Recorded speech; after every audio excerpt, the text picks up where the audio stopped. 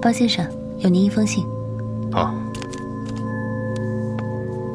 等一下，信件里面可能会存在危险，让我帮您打开好吗？好。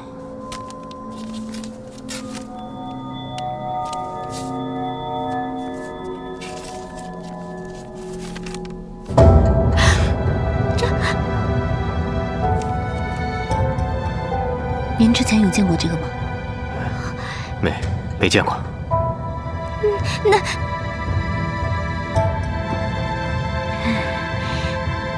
您知道这个血手印暗示着什么吗？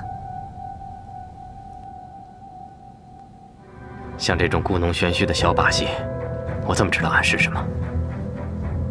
露露小姐，您知道什么吗？我就更不知道了。那您就休息吧。好。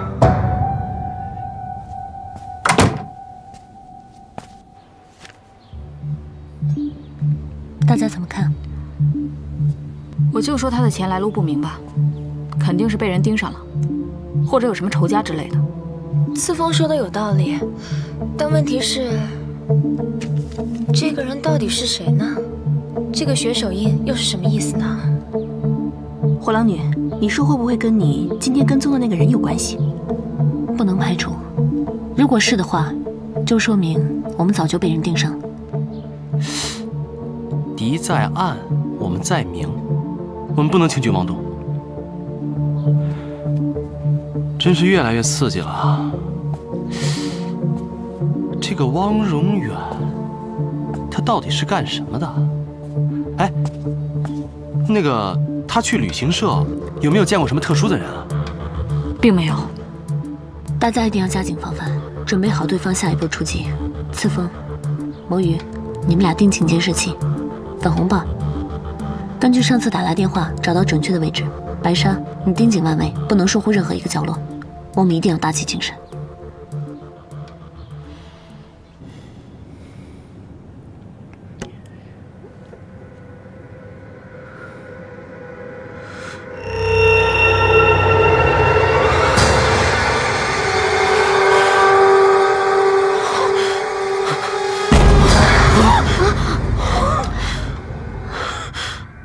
怎么了？三番五次老有人恐吓，你能不能告诉我，到底发生什么事了？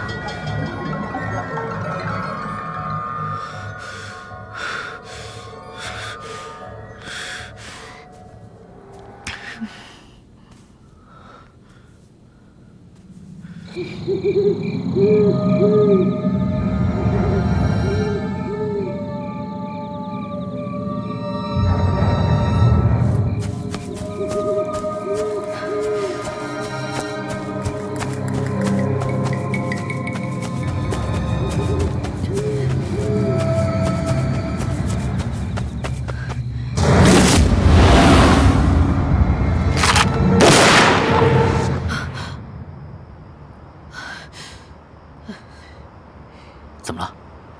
做噩梦了？怎么样？有动静了吗？俊良还在家，还没有出过门。